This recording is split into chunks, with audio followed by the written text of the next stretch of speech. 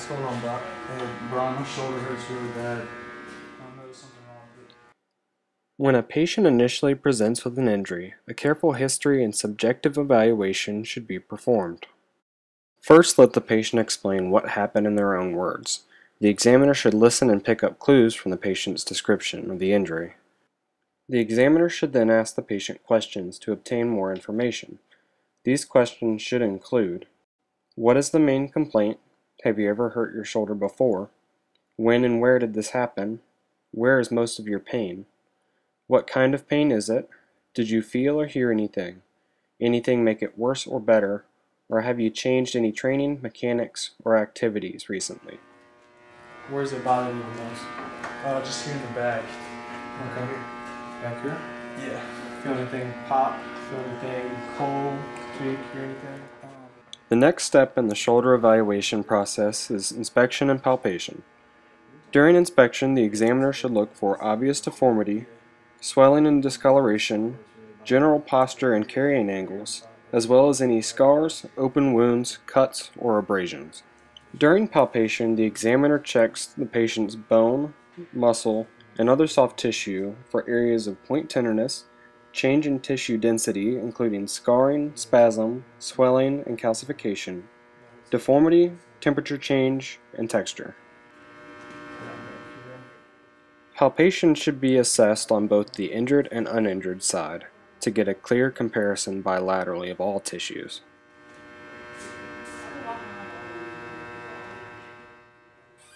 After inspection and palpation, the next step is to assess the patient's passive range of motion.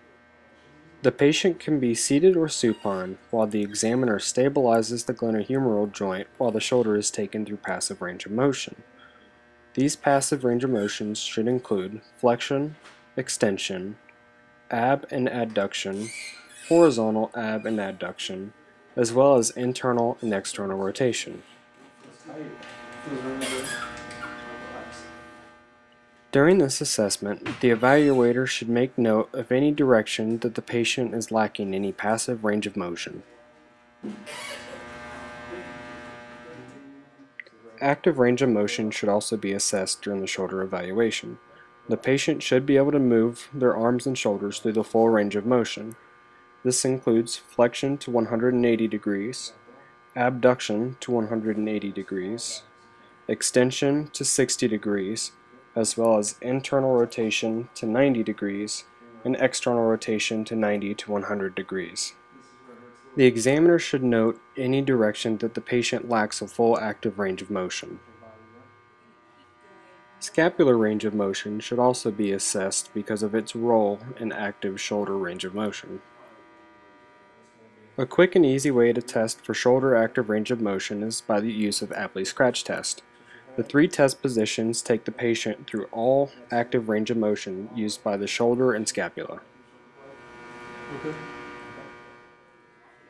To assess strength during the shoulder evaluation, manual muscle testing is used.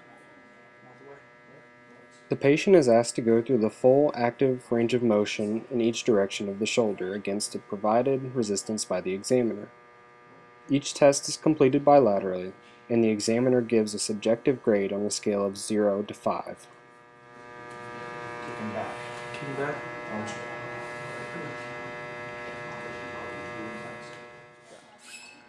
A manual muscle test where the injured side is equally as strong as the uninjured side is given a grade of 5 out of 5.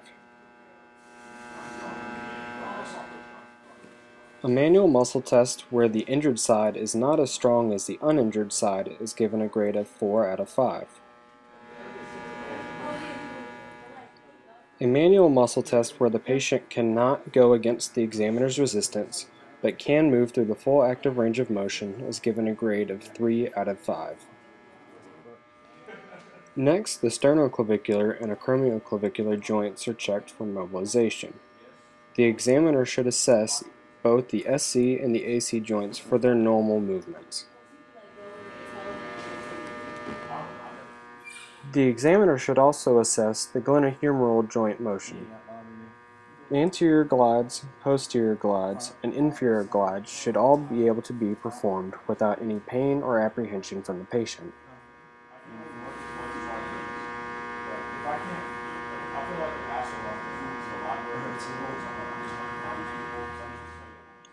Our first special test is the acromioclavicular traction test.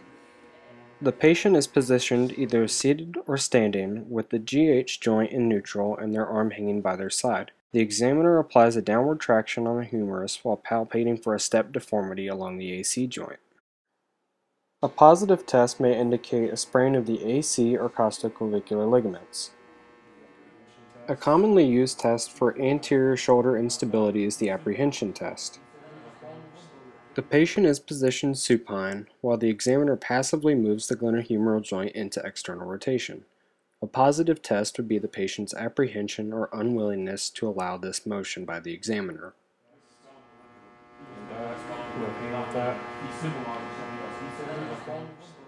One of two commonly used tests for shoulder impingement is the Neer test. The examiner places the glenohumeral joint in internal rotation and the forearm in pronation. The examiner then forcefully moves the glenohumeral joint through the full range of motion and flexion. If pain is reproduced during the test, it's possible that the supraspinatus tendon or the long head of the biceps brachii is being impinged during this motion. An alteration to the Neer test can be performed by placing the patient's hand on their opposite shoulder and the examiner forcefully moving the glenohumeral joint through flexion. Another common test for shoulder impingement is the Hawkins-Kennedy test. The patient's elbow is flexed and the glenohumeral joint is elevated to 90 degrees in the scapular plane. The humerus is then passively internally rotated till pain is noted.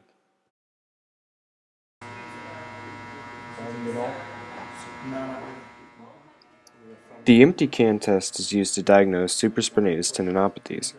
The patient raises their arm to a 90 degree angle in the scapular plane, while the examiner applies a downward pressure against resistance. The drop arm test is used to diagnose rotator cuff tendinopathy. The patient's arms are fully abducted and slowly lowered back to neutral.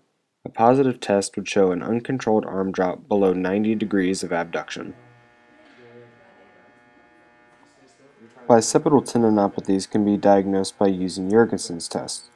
The patient sits or stands with their arm at neutral and elbow bent at 90 degrees. The examiner attempts to externally rotate and pronate the patient's arm against resistance. Another test for bicipital tendinopathy is the Speed's test. The patient sits with their arm in neutral, elbow extended, and palm supinated. The examiner allows the patient to move through full arm flexion with resistance while palpating over the bicipital groove.